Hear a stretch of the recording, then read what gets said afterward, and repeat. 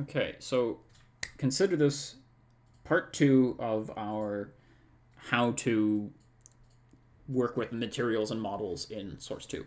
So our first video covered exporting the models and materials from Hammer and just copying the materials from uh, the asset browser using print screen sequence.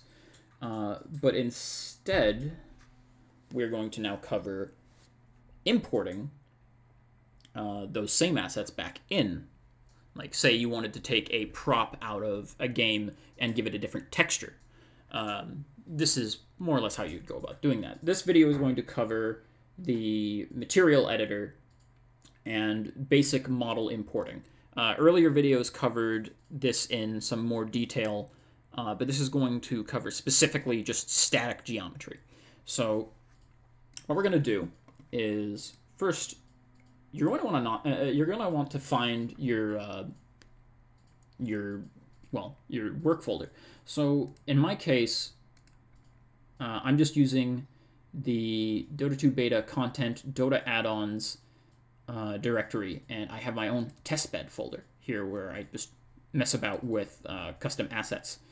Uh, so what I've gone ahead and done is made my own Aegis folder, and using the same source style uh, hierarchy system, I have a models fol folder, which has my uh, Aegis OBJ, and materials folder, which then has its own models folder, and a series of textures. Now, we have a color PSD, which I've gone ahead and made this nice bright cyan and magenta colored Aegis, just to test the custom imports. I've also gone ahead and upscaled these textures using Waifu 2X, just so they're a little sharper and nicer looking.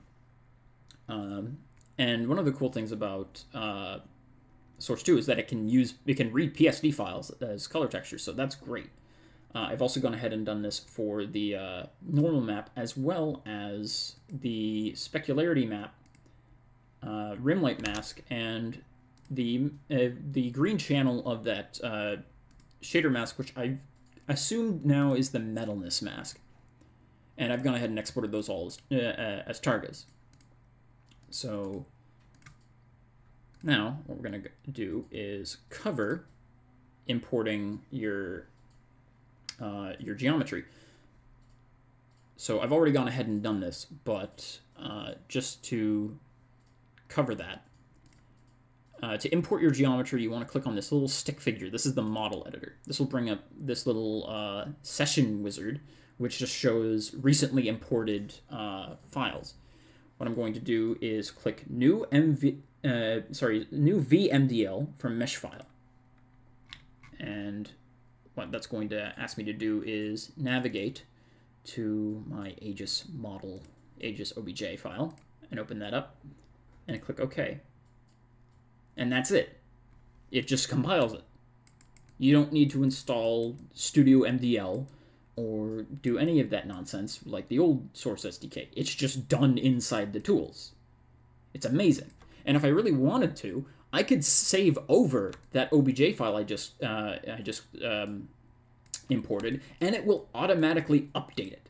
So if I wanted to say make this a really fat Aegis, like I wanted to make this a really wide looking Aegis, uh, I could just file export obj and save over this. And if I go, it's already, before I even alt tabbed back, it's already imported it. So that is incredible. I'm going to undo that, though, because I don't want a fat Aegis. I want, like, a, a regular Aegis. So I'm just going to save over that, and it's already fixed. So if you're familiar with source modding, you've probably run into this error texture plenty of times. It's just a glowing red wireframe. Um, and that way it's just blatantly telling you this isn't connected to anything. Uh, and we're going to import, we're going to make a uh, material for this very, uh, very quickly. So right next to the model importer is the material editor. And here I've already gone ahead and made a custom material, but I'm going to go ahead and just quickly run down the basics. You're going to hit new. And first things you want to do is hit save. And this should load up um, your last imported directory. In this case, I'm in models. I'm just going to go back to Aegis, hit materials, models, and then I'm in my materials models fo uh, folder, and here I'm just going to save it as custom aegis.vmat. Just save that, and now it will let me preview. So by default, it normally highlight uh, lets you preview it on a sphere, but instead I want to preview it on the Aegis. So I'm going to click this little stick figure icon, and uh, this allows me to preview it on any model I want, even if it's not set up for the specific material. So I'm going to click on this little magnifying glass, and here I can see a number of uh, different assets. Like if I wanted to preview this on the error model, I could. But instead, I'm just going to click the Aegis we just imported. So here it is. Uh, there's no normal map, there's no color map, there's nothing. It's just the plain model. So what I'm going to do is change this uh, the shader setting, global lit simple, to one of these pre-made shaders. I'm not entirely sure what Half-Life Alyx's shaders will look like. I'm sure they'll have simple materials set up for uh, skies, uh, shadow receivers. Um, they have different shader setups for crystals, cables, uh, water. Uh, I'm sure Half-Life Alyx will have many, many different uh, shader types, but I'm just going uh, off of Dota 2's pre-made shaders. In this case, I'm going to use Hero as our sort of default shader because it covers just about every different uh, material we really need. I'm just going to quickly save that. So, how do we use the material editor? Well, first things first, uh, on this first panel, uh, in the Properties tab, we have things like two-sided rendering. So if you wanted to, if you had like a flat piece of paper like that was a, a single polygon uh, that you or something that you wanted to uh, render on both sides without having to model thickness, you could just click render back faces, and that would effectively double your uh, poly count, but it will render uh, the back and the front of a, a single polygon thick piece of geometry. But we don't really need to render back faces since this is a solid chunk of geometry. There's also things for translucency, um, uh, the different shader masks, masks 1 and 2. I will go over these in detail uh, soon. Uh, detail masks, which are things like scrolling textures. So if something, uh, if you had like uh, something that you wanted to have like a scrolling fire effect on it, this is what you would uh, do, and I can cover that as well. Specular cube maps, this is for really fancy shiny reflections. Color warps, diffuse warps, uh, specular warps, Fresnel warps. There's a lot of different warps you can use. I'm really only familiar with diffuse. Um, and then we've got some other things. Enable cloak, I don't even know what that does. Morph supported, I'm not entirely sure what that does. Um, effect proxies, I have no idea what those are. But you have other things like do not cast shadows, do not reflect, cast shadows only. So if you wanted an object to cast a specific shape or shadow. You could set up a model to do that and then have it only cast shadows so you wouldn't see the model uh, at all. You could use this for many different visual tricks, but I can't really name any off the top of my he uh, head right now. But then you could also have things that don't reflect or don't cast shadows at all. If you wanted like a an orb of light to appear in front of the player, but you don't want the orb of light itself to cast shadows because well, light can't really ob ob obstruct light if it's emitting light. Um, there, you've also got a wind shader. So if you wanted something to sort of wobble in the wind, or like uh, like leaves or hair, then uh, enabling wind would be a good way to do that. Dota 2 uses this for uh, uh, a lot of its foliage models. Uh, I know Dota Underlords uses it for Hobgen's hair, just by looking at it. Um, then again, it could be a different sh uh, shader setup. I could be completely wrong about that, but my best guess is that it is using the wind function. Uh, they've got separate transform for alphas, separate transforms for normal. So if you wanted to, uh, if you wanted to have the transform of the normal map or the alpha map scroll along a model to achieve a different effect, um, like you could, uh, you could, um, you could make a very simple water effect by uh, scrolling the normal map along a surface. It there's a lot of different things you can do with these shaders, and it's really fun to play with. Now I'm going to go over actually playing with them. So first things first, we want our color map. So I'm going to click this little magnifying glass, and it's going to ask me to uh, type in its name. Luckily, it's right here, Aegis color. Um, by default, it sets its suffix to underscore color, and that will highlight everything with a color map on it. So I'm just going to click on Aegis color, and bam, there it is. Um, but we want to add some like nice fancy reflections to this. Otherwise, this is just a flat color. So uh, first we want our normal map. And there it is, aegis underscore normal.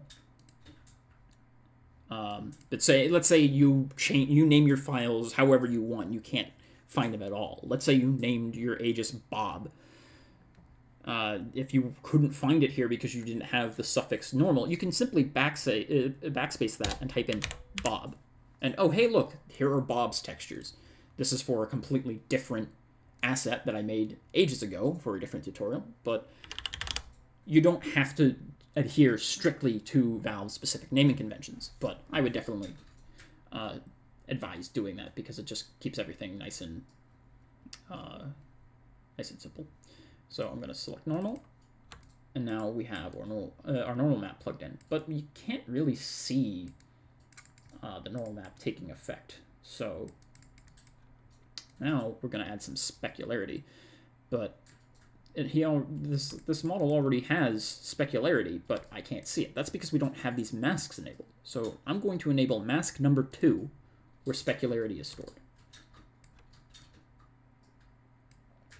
So the specular ma mask right here doesn't have anything plugged into it. It's already loaded the rim mask, and I haven't even had to do anything. So if you one thing that uh, Valve does uh, is they've more or less sort of hard coded in their uh, their file name suffixes. So because I named one of the textures rim mask, it's already plugged in. But where's the specular mask? Well, that's because I named it specular mask instead of spec mask. Um, so it's just defaulted to this sort of uh, dark matte gray. Now, if if your model was very simple and didn't actually need its own texture for a specular mask, well, it's re it's really easy to alter that because they've and not you have the choice between using an image map or just setting a value on a color ramp. Now I'm not, I'm still not seeing this updated on. Oh, now I remember.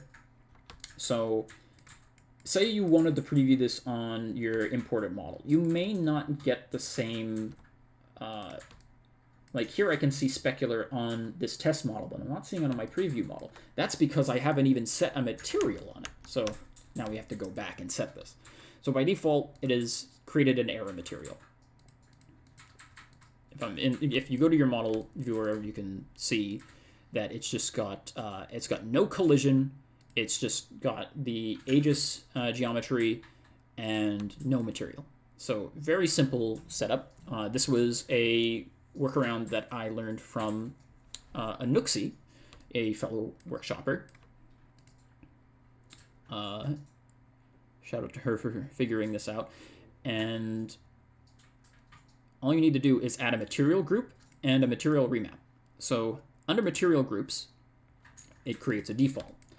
And over here in the property editor, you have to click this uh, plus button to open up the materials.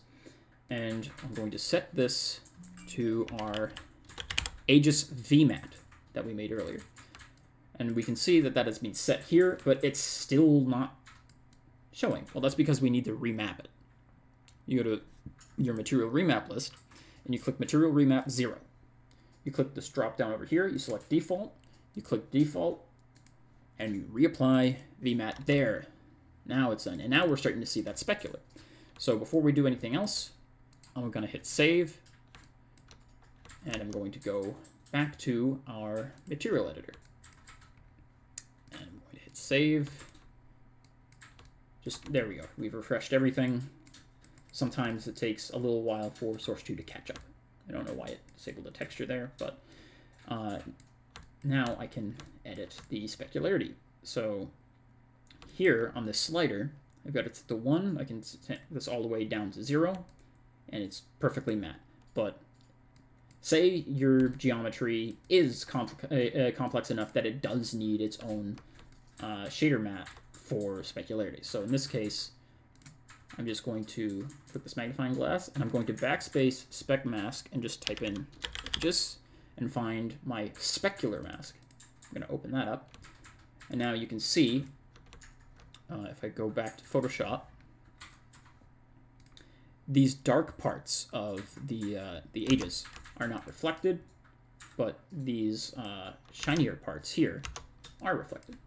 Let's say I want that shinier. Well, if we scroll up back to the specular tab, I can set the specular scale, so I can leave it on 1, or turn it all the way up to 1000 and just have this very, very bright, very reflective model. This doesn't look that great, so we got to work in moderation. I like to work in powers of 2, so say 4 or 8 or 16. So let's set it to 8. That's pretty shiny. That's pretty good. I can also change the specular exponent, which is how glossy or how sharp the uh, specular highlight is. So if I set this all the way up to, say, 512, you can see that it is a very small uh, specular highlight. It's a very glossy reflection. But if you change this all the way down to 1, you can see it's a very large, a very sort of matte finish. But I'm just going to go ahead and set it to 32, the default, which is a pretty good, decently sized specularity reflection. So now I'm going to plug in uh, the metalness mask. Now, metalness isn't covered under mask 2. It just covers specularity, rim, tint, and specular exponent. Uh, if we click mask 1 over here in the properties tab, this will load up uh, four more different shaders we can work with, which are detail, diffuse warp, metalness, and self-illumination. So right now, it's defaulted self-illumination to be full bright, so now this thing isn't even casting shadows on itself. I'm just going to click on the slider, drag that all the way down to zero. Okay. Now we've got our reflection back. I'm going to go ahead and save our progress. Now I've noticed the metalness mask didn't import properly because I didn't export it properly. That was my mistake. I'm going to go back into Photoshop. I'm going to open up my uh, metalness mask. Remember that this was supposed to be just the blue channel. So copy that, paste it over, and just save over that. And like I mentioned earlier, it has already automatically updated um, has already updated the uh, material. And now I'm starting to realize this is definitely not the metalness mask because now it is creating these ugly black spots on the uh, on these little uh, bolts here on the shield. So instead, I'm going to change the metalness mask to just a quick slide. As you can see, full bright makes the whole thing completely black. It's almost like it's covered in oil. But if I bring this down to like like 0.5, let's put it on 0.6. That's more reasonable. As far as I can tell, the metalness slider just makes the the overall like color of the model uh, darker while ignoring the um, the specular highlight. So I'm going to set this to 0.6. Uh, the detail mask and the diffuse warp uh, are fine for now. So what I'm going to do is I'm going to go to tint by base mask and put the metalness mask into that. Now, you can play with this however you want and figure out all these different ways to render different surfaces. Um, there are so many different things you can do with the material editor. Um, like, I'm just glossing over a lot of basic stuff. Um, but let's import the metalness mask into there. There we go. That's no, that, that was definitely the tint base. So what tint base does is it samples the color map underneath the specularity, and it colors your specular highlight um, that particular uh, color. It's a really, really good way to make uh, reflected metal look really nice. In fact, if I turn the metalness of this up some more, you can probably see that reflected better. Yeah, if I turn it all the way up, you can see those uh, specular reflections are now uh, sampling that purple. I'm going to turn that back down to 6. So now, uh, this is like more or less just it. But I can go over some simple uh, tricks that you can uh, do with the material editor to get certain effects. So another thing I just want to cover real quick is the rim highlight. So by default it's to 1, you can set it to 100 and that makes the rim highlight really, really bright. You can't really see it that well. There we go. You can see it much better from this side. So this is basically like Fresnel, almost. Uh, I'm just going to set it to something like 4. And your rim highlight intensity can be controlled by, well, a rim mask, in this case, uh, used here in the second slot of mask number 2 and I can like turn that off if I want to or turn it back on. And you can see the subtle differences between changing it. But again this is just scratching the surface on what is possible with um, your material editor. So let's say I wanted to make this let's say I wanted to make this like have a cool glowing fire effect one of the ways we can do that is by clicking going to the detail tab underneath the uh, properties tab. So if I select uh, add, it's, it's now got this bright like detail over it.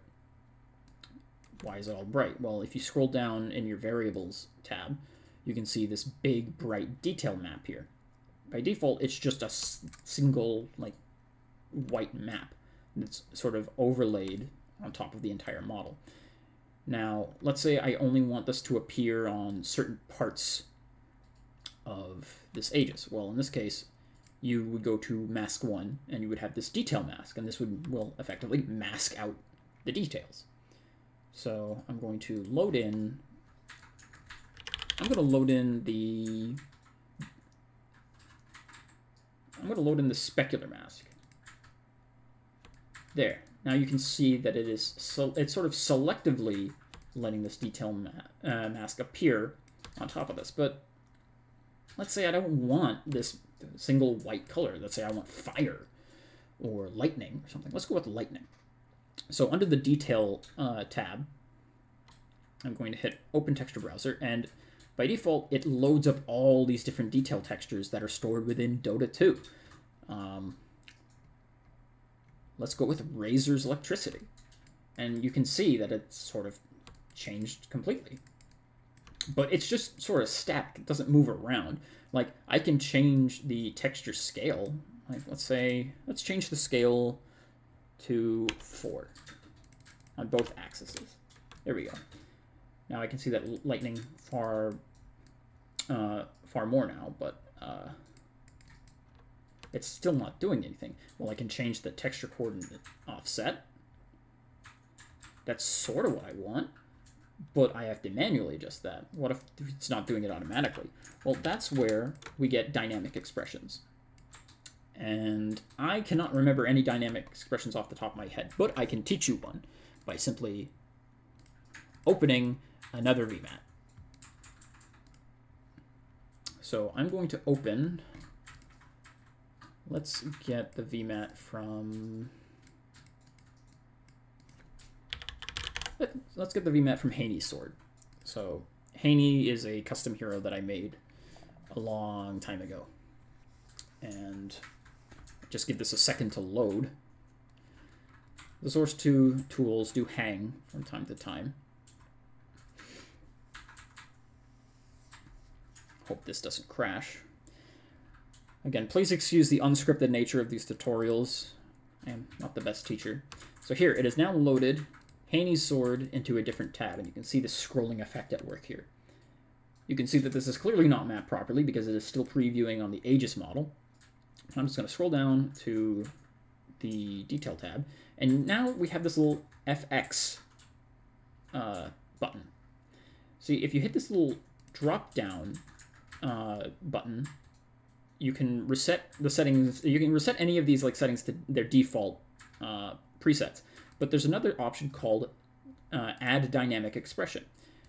And what that does, it creates this little button. If you click that, you can edit this mathematical equation that uh, tells our texture what to do. In this case, it is frac float 2 1 0 multiplied by time. I'm not entirely sure what that means. Um, I'm sure anyone who's familiar with uh, technical art will know what it means, but I'm just going to copy this, this expression. Uh, I'm just going to leave it on screen so you can write it down too. It is more or less going to do the same thing.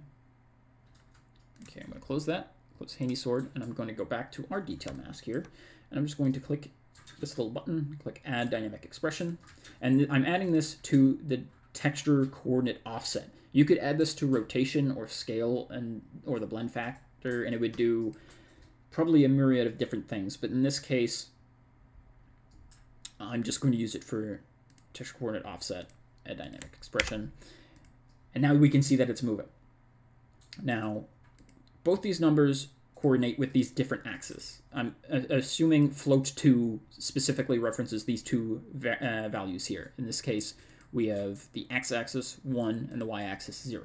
So I can change these both to 0 and it stops animating. If I change this to 1, now it starts going up. Uh, if I change this to 2, it starts going up faster. If I change it to 4, now it's going really fast. So I'm just going to save that.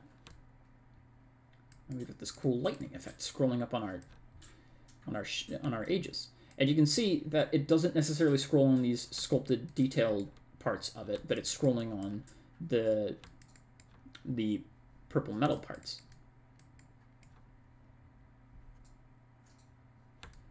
Yeah. Let's say I wanted to change this to fire. I'd load like uh, one of these ugly looking fire textures, like let's say this. Maybe even this.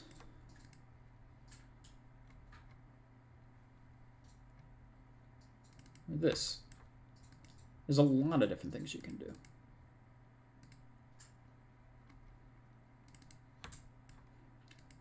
Hmm.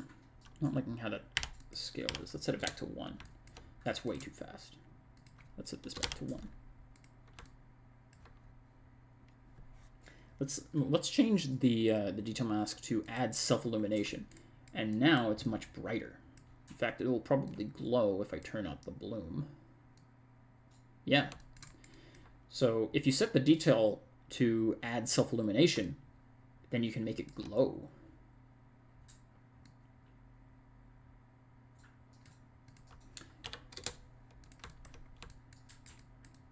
Again, there's just so many different things you can do, but this is just covering like basic things that are done with the material editor. Sometimes I just get carried uh, away and just keep playing with every little different thing I can get my hands on.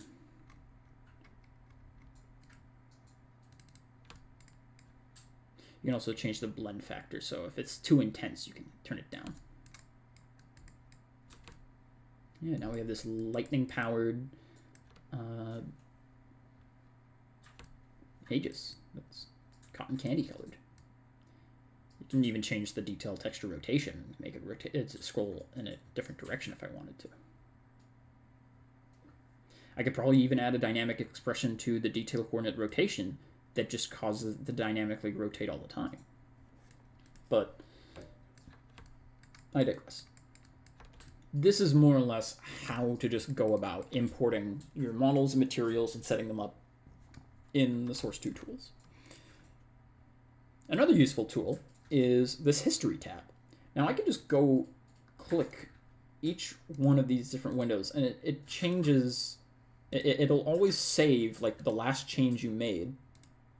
And if you wanted to preview like the difference between two different looking uh, material setups you can very quick easily click uh, click these two for uh, just a quick preview.